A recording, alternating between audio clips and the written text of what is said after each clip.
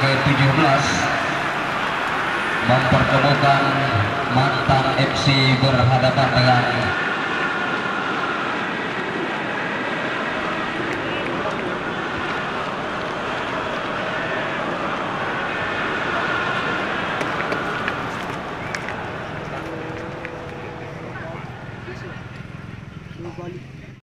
Kita akan menyaksikan kick off babak yang pertama berhadapan dengan PS Mantang. Sudah bersiap-siap punggung 7 dari KRS memulai kick off babak yang pertama pada sore hari ini. Menguasai bola. Berikan umpan ada rekannya di sana.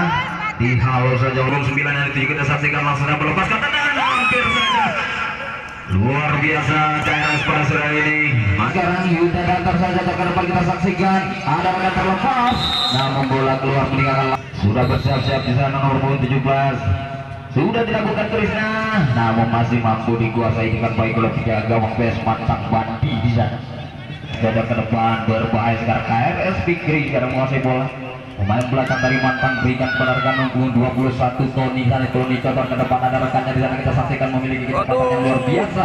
Namun masih tidak mampu melewati pertahanan dari Fikri. Yang akan melakukan kali ini. Sudah dilakukan Fikri KRS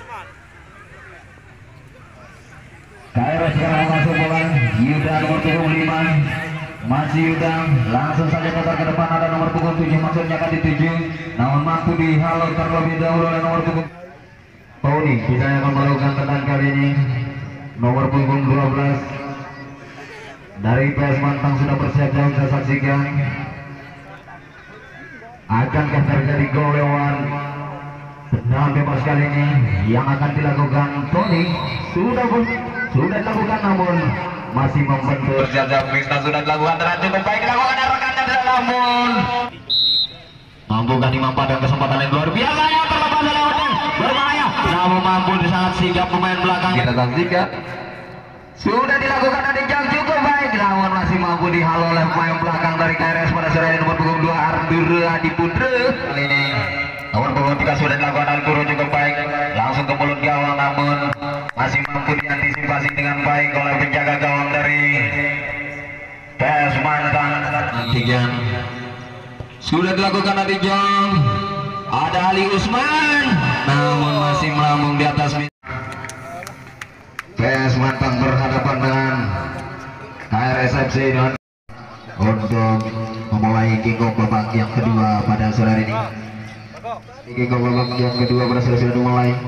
Ke belakang pada rekannya nomor punggung 16 Adi Putra sekarang. Bagaimana?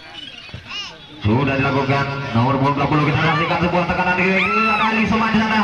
Ke belakang dia namun bola keluar meninggal Abi luar biasa Abi. Adik jauh tadi berpunggung 20 sekarang. Abi memberikan umpan kepada nomor punggung 3 Asawal sekarang masih sawal ke tengah kepada nomor punggung 20 kita saksikan gagal dia masih mampu dihalau kembali masih mantap. apakah yang tujuh sudah dilakukan tonton cukup baik langsung ke mulut gawang namun masih mampu diguas mantap Ali Usman yang dituju. Berikan kepada Sawal namun masih melambung di atas mid KRS sudah bersiap-siap apakah yang tujuh kita saksikan? Sudah dilakukan cukup keras berbahaya namun masih mampu di sudah dilakukan. Namun masih mampu dihalau oleh pemain belakang dari KRS Adi Putra melepaskan tendangan mampu dikuasai sekarang punggung 20 Abi di sana. Abi langsung saja ke depan ada Sawal. Maksudnya yang kita saksikan Sawal. Namun mampu dihalau terlebih dahulu oleh KRS berpunggung 21 gagal dia untuk mengecoh pemain dari KRS kembali punggung 21 berikan kepada PS Mantan. Ah, mantan sekarang punggung 7 berikan pada nomor punggung 9 Ali Usman Ali Usman umpan kepada nomor punggung 7 kita saksikan. Masih nomor punggung 7 terlepas berikan umpan kepada adalah Sawal akan terjadi gol pada sedikit namun bukan sebuah pelanggaran sudah bersiap-siap di sana Tony kita saksikan. Tama, tama, tama, tama, tama, tama, tama. sudah dilakukan namun nampaknya